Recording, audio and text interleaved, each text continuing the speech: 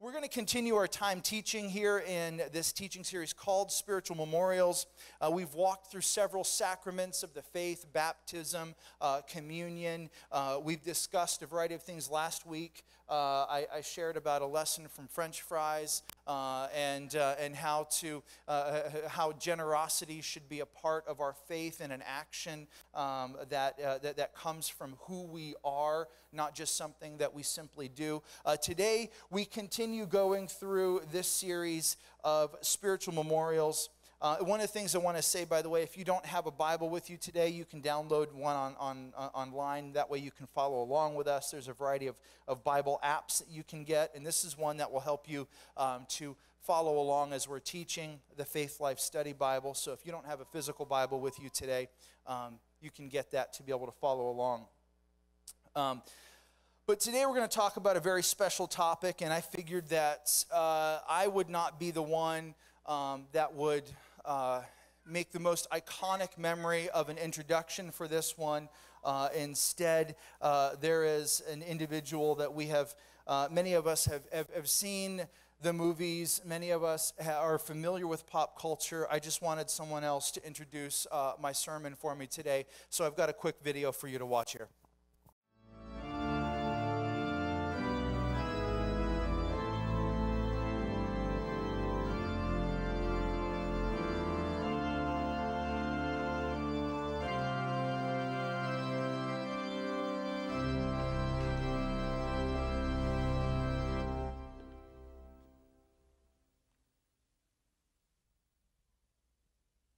Marriage. Marriage is what brings us together today. Marriage, that blessed arrangement, that dream within a dream. Your ground, men. Stand your. Then love, true love, will follow you Fire, so treasure your wife. Skip to the end. Have you the wind? Man and wife. Say man and wife. Man and wife. All right, there we go. Some of us, that's all that we understand of marriage. I hope that we can help you change that today. It's not just uh, titles of man and wife, uh, but marriage, it is. Uh, Marriage is, is something that when you stop and look at church history, there is a lot that has transpired over the last 2,000 years in church history and an understanding of marriage. Everything from cultural shifts, uh, moving from uh, Roman era leadership and governmental uh, oversight, uh, all the way to where we are today. The idea and concept of marriage has shifted and twisted quite a bit. And what I want to do is, I want to make sure that we understand the purpose of marriage at its deepest level is far beyond companionship, it's far beyond reproduction and being able to make little mini me's. There is so much more to it than that. It goes much deeper. It is actually a spiritual memorial that should be able to remind us of how much God loves his creation. When we look at a wedding ring, we should not just be thinking, oh, that person is married. We should be reminded of God's love for us. When we hear the phrases husband and wife, we should be reminded of how God loves his creation and his people. When we approach, if, we, if you're married, when you approach your husband or wife, you should say is are my actions, are my behaviors, is my response to them resembling the, the love that God has for his people?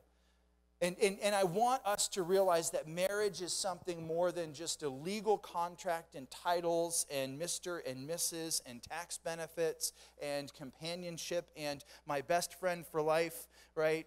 It's There, there, there's so much more to it. Uh, the Apostle Paul, he spends a lot of time writing about this. Jesus addresses this uh, on multiple occasions. It is referenced all throughout the Old Testament. The prophets use marriage as an image and an illustration of how God loves his people. And marriage is something that is, is being changed today in its definition and its understanding. And I want to make sure that we understand what God calls of us through marriage. Does that sound good? All right, some people are scared, right? Oh boy, what's going to happen today? Now, next week, I, am going to introduce our, our, our, next sermon series right now because I'm a little excited about this, but also a little bit apprehensive. Um, starting next week, we're going to be doing a new sermon series. That's the one that scares me. Um, uh, it's called Bible Roulette. Um, have you ever taken your Bible and just kind of like flipped it open and said, God, I need a word. I need a word from you. This one, right? And just read a verse and hoped that it was something that was meaningful to you. That's going to be how our sermon series is built for the summer here. Um, uh, 2 Timothy 3:16 tells us that all of scripture is beneficial and useful for instruction and teaching. All of it is breathed by God and inspired by God. And so we're going to walk through the summer uh, teaching through Scripture. And at the end of each of our sermons, uh, we're going to blindfold someone and have them. Uh, I'm, I'm, not, I'm not kidding. I sent Lori a text message a couple, a couple days ago. I'm like, you have to buy me a blindfold that we can, uh, that we can use uh, for the summer. And uh, so we're going to blindfold someone and let you just open a Bible and point, point to a verse. And that will be our sermon the next Sunday. Um, yeah, that's exciting, isn't it? Who wants to do that one? Who wants to preach with me? Could I have, do I have any preachers in the house who are ready to come and, and help me preach this one? Because you never know what we're going to get, but we're going to have fun with that. Anyways, the, God's word. I, I, I say this because I want us to understand that God's word it is very clear about so many topics, and we should value it about every topic that is contained within. And every topic within Scripture is, is something that, that we should look at and say, God, what is your perspective on this? And how should my perspective shift to align with yours? And marriage is one of these. One of the things that is said in Proverbs, uh, I hope, guys, that you really understand this and you really value this. Uh, but Proverbs tells us uh, in chapter 31, verses 10 through 12 who can find a virtuous and capable wife? She is more precious than rubies. Her husband can trust her, and she will greatly enrich his life. She brings him good, not harm, all the days of her life. That's awesome. That's an awesome verse. The funny thing is, I cannot find a verse that says the same kind of thing about husbands to wives. So, guys, I'm sorry, your wife will enrich your life and you will probably be a pain in hers. That's just that's just what I'm assuming based out of this. But God talks about this concept of marriage, this idea of marriage. It's such a powerful thing, and we need to love and value and cherish this we need to understand marriage in, in, accordance with God's ways, not in accordance with what we want to get out of marriage.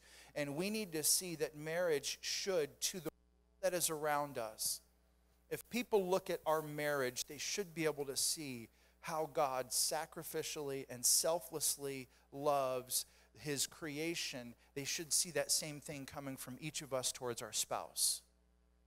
They should be our marriage and see God's love in it. Marriage, we have uh, an incredible opportunity with it to display to the world God's love. Ephesians chapter 5, uh, uh, uh as, as, Paul is writing uh, to the church, he, he brings Jesus into, into the equation of marriage. Uh, this is what he, what he says to the church. He tells us that we must submit to one another out of reverence for Christ. He says, For wives, this means to submit to your husbands as to the Lord. For a husband is the head of his wife, as Christ is the head of the church. He is the Savior of his body, the church. As the church submits to Christ, so you wives should submit to your husbands in everything. For husbands, this means love your wives just as Christ loved the church. He gave up his life for her to make her holy and clean, washed by the cleansing of God's word. He did this to present her to himself as a glorious church without a spot or a wrinkle or any other blemish. Instead, she will be holy and without fault. In the same way, husbands ought to love their wives as they love their own bodies, for a man who loves his wife actually shows love for himself. No one hates his own body, but feeds and cares for it just as Christ cares for the church, and we are members of his body. You see, as Paul writes this, what he's trying to do is get us to realize that, that we both uh, uh, in, in, in a marriage, the husband and the wife, we both have responsibilities. Responsibilities to love each other, to submit, you know, equally to each other. The husband has a different role than the wife does. Husbands, uh, listen, I, I, I need you to get this. You are the spiritual head and lead of your home. And if you don't assume that responsibility, if you don't actually take up that, that, that, charge and that command and that role that is assigned to you, your wife will be looking for spiritual leadership elsewhere. That means that you lose influence in your wife's life. That means it's harder for her to submit to you if you're not fulfilling the role that was assigned to you by God. Do you get this?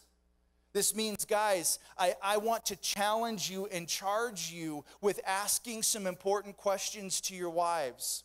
What are you praying about lately? What's God speaking to you lately? How can I support you spiritually better? These are three big questions that you need to constantly be asking with your wife. And I'll tell you, you're going to go through seasons where things are great and you're doing this well, and you're going to go through seasons where you fall off a little bit because maybe you're life is not as strong as you want it to be.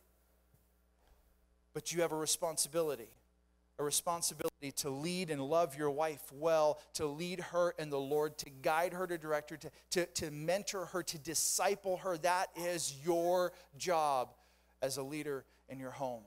Guys, own that. Ladies,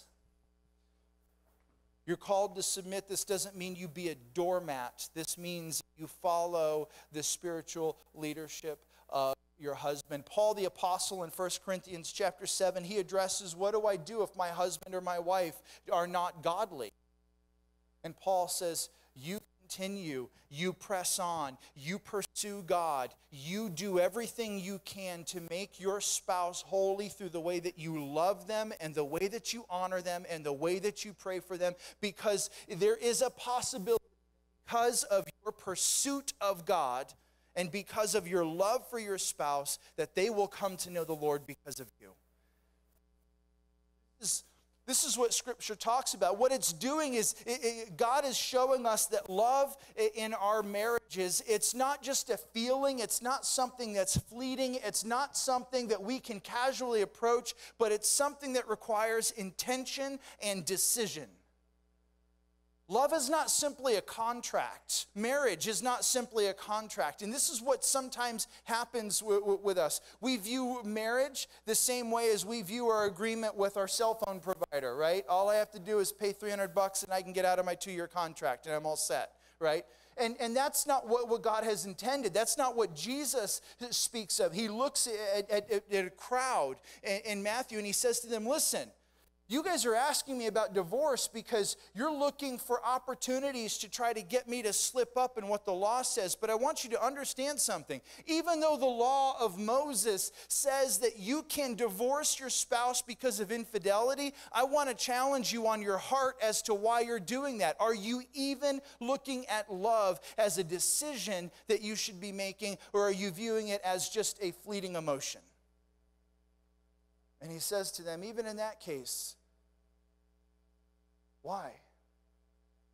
You see, I've, I've walked with a, a few couples and a few families who've had infidelity inside, in, inside their, their, their marriages. And I've seen some who have taken that opportunity to say, well, Scripture says if, if there's infidelity, I can divorce, so I'm going to exercise that. And I've seen other couples who've said, no, I'm sticking through it. We're going to redeem this thing. We're going to see God honored in this thing. And I want to challenge you to view marriage like God views his love for, the, for, for his creation.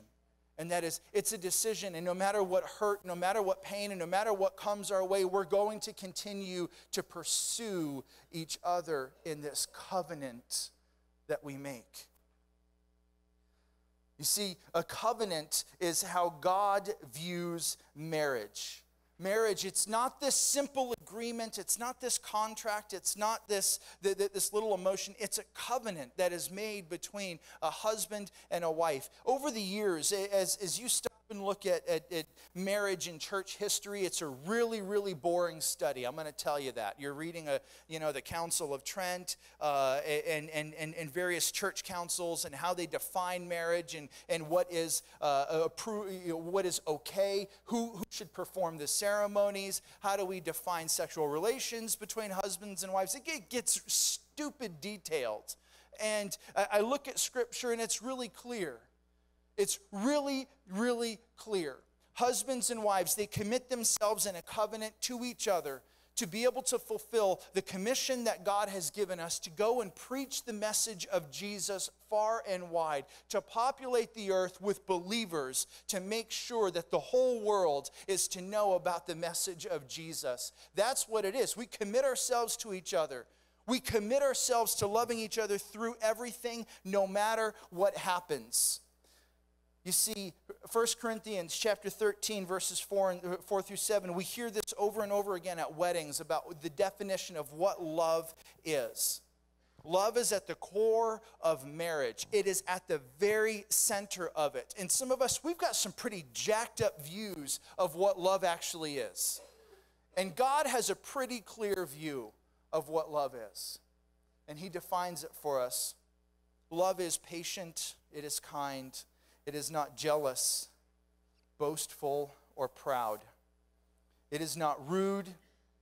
It does not demand its own way. It is not irritable, and it keeps no record of being wronged. It does not rejoice about injustice, but rejoices whenever the truth wins out. Love never gives up, it never loses faith. It is always hopeful and endures through every circumstance. This is how we define love. This is how we should define it. Some of us, we define it as the butterflies that we feel when we're near someone, right? Nope, that's not love. That's arousal. Let's just call it what it is, right? Nope, nope. No, love is a little bit different. It's decision, it's intention. It's saying, no matter what, I will continue to display these characteristics it will be part of my character, who I am. I will be faithful. I will be kind. I will be patient toward my spouse. Even when they annoy the bejesus out of me, I will still be patient with them. Because guess what? You annoy your spouse too. Just an FYI. Don't know if you ever, you know, if you're ever thinking who the problem is in the marriage, go stand in the bathroom and look at the mirror, okay? Let's let, let, let, let's be real. Okay, you're the problem just as much as your spouse is because when they're trying to figure out who the problem in the marriage is, they'll go look in the bathroom too and see themselves, right? We are all the problem. It's our pride inside of us that makes us live out love that is not godly, biblical love, but instead is worldly defined love. Love is patient and kind. Love does not boast. It is not proud. It is not rude. It doesn't in, re- rejoice with injustice.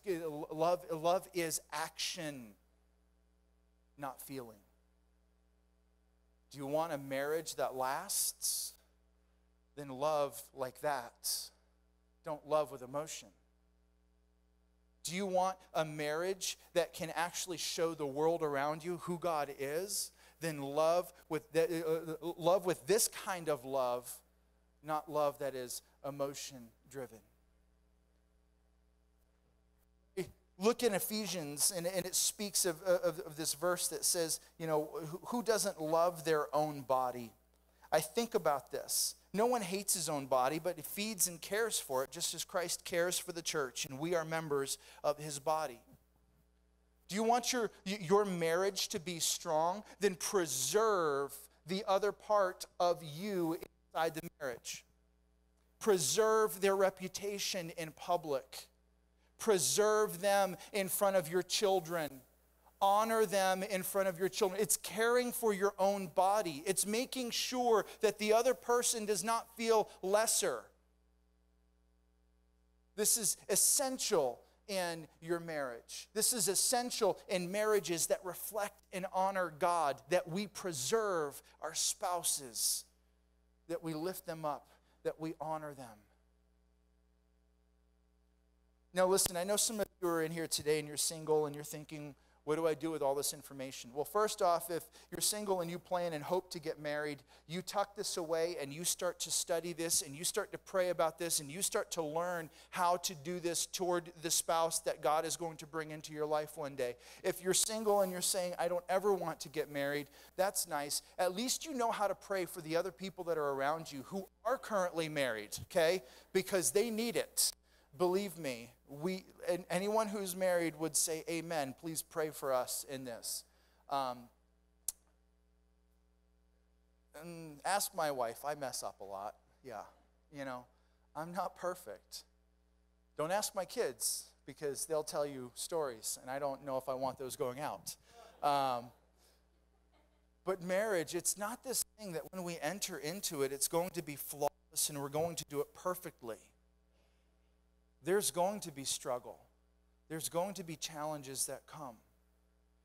But if we make sure that our love and our, in our marriages is something that, that we're trying to base and root in what God's love is for His creation, then we'll approach marriage differently. We'll approach when we wrong our spouse differently. At least I hope we do. I'm not perfect at this, and there are times that my pride gets in the way in an argument or a, uh, well, a discussion that my wife and I are having lasts, you know, a little longer than it should. But at some point, God finally says to me, Mike, is this how you want me to treat you? And I go, ugh. Who's that again? I don't want to. Was that God or was that, you know? No, that's, that's God speaking to me and saying, Is this how you want me to treat you? You see, the way that we love each other, Scripture tells us the judgment and the love that we cast towards others, the forgiveness that we grant to others, it is with that same level of forgiveness and love that God will forgive us. That should be a heart check for us. If we withhold forgiveness from others, especially our spouses, then God will withhold forgiveness from us? Oh. Do you love like God loves? You're not going to do it perfect. Don't go home and start scoring yourself and say, I failed. Oh, that's it. You know, throw in the towel. I'm all done. I can't do this. I don't want us to do. Instead, I want us to realize that marriage is it is a lifelong commitment to constantly improving and loving each other and, and, and moving forward and progressing in this and being able to display God's love to each other and being able to bring transformation to the world that is around us. See, God, what He does is He looks on the people of Israel, He makes a covenant with them. In the Old Testament, uh, likens himself multiple times to a groom and the people of Israel, his chosen people, as a bride. And in one reference in, uh, in Ezekiel chapter 16, verse 8, this is what is, is said. This message of the Lord, verse 1 tells you this message of the Lord came uh, to Ezekiel. And then it goes on, and, and in verse 8 it says this And when I passed by again, speaking of passing by the people of Israel, he said, I saw that you were old enough for love. So I wrapped my cloak around you to cover your nakedness, eh, which is in, in, in, this, uh, in this day, it would have spun back to uh, Adam and Eve and after they had sinned, and the nakedness and the shame that they walked with because of their sin. And here God is saying, I covered over your shame with my cloak. Your sin and your shame have been covered by me, is what God's saying. And I've declared my marriage vows. I made a covenant with you, says the sovereign Lord, and you became mine. God's love for his creation is like that of marriage. When we look at marriages around us, anytime that we hear this word husband or wife, anytime you see a wedding ring, anytime that you get an invitation for a wedding, anytime that you see someone who is engaged, I hope that you are reminded of God's love for you and I a love that does not stop, a love that is action, a love that would motivate God to say, I will step out of heaven, I will come down. And, and, and Jesus being born into this world, living a perfect, sinless life, and he would give his life for us. Scripture tells us there is no greater example of love than the love that would motivate someone to give their life for another person. And Jesus gave his life for us because that is the greatest form of love that we could ever, ever imagine. You see, God loves you. He loves each and every single person inside this room. And his commitment to us is not one that is fleeting, it's not one that he wants an out he doesn't come into this relationship with us with a prenuptial agreement that says, if you agree to all of this, then I will. You, you, that, that's not what happens. God comes at us and says, I'm giving my son to die for you, to rescue you from the curse of your sins, and all you have to do is respond and accept it. That's it. Everything else that we do is a response to the salvation that God offers us because of his love. Everything else that, that, that, we do, every, all the other things that we see in Scripture, it's a response to the love that is freely given to us by God. Respond to God's love today if you have not already done this. It's easy for us sometimes to grow up in, uh, in church or grow up around church and to hear these kind of things. And, and, and we say, you know what, I'm a good person. God's, you know, God and I are, we're, we're, we're all set. It's not how it's said in Scripture. You see, God, Jesus, He came and He died for us because we weren't all set, because our goodness was not enough for salvation. He came and died for us. He died for you. He died for me. And I want to encourage you today to accept the salvation that He's offering you today. Step into that. Be wrapped up with this cloak covering your sin and your shame and making you right. As you continue reading on in this passage, uh, and, and, we're not going to go into it here t- uh, today, but you can read it at home later. Uh, it goes on to, to read for the next eight, eight or so verses about how God dressed up and adorned the people of Israel, gave them earrings, helped them to be washed clean, helped them to be preserved to the world. This is what our marriages should be focused on is the redemption of our hearts and uh, of the hearts and lives of the other person that's in our marriage making them look as best as possible to the world around us seeing them in their healthiest state. We should be committed fully committed. God's love is something that it's an incredible gift and I want to just encourage you today accept that if you're sitting there and you're saying today, you know what, my marriage is a little bit on the rocks, things are, are struggling.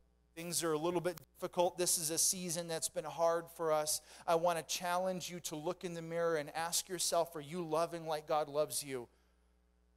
Or are you living out of selfishness and pride?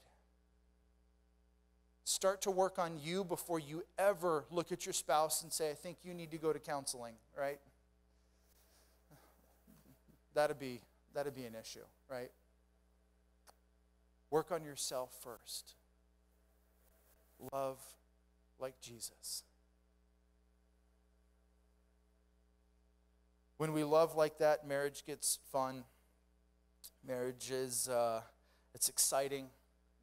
Um, I know when my wife makes sarcastic remarks to me uh, because of something I did that it's not being done because she's trying to be spiteful,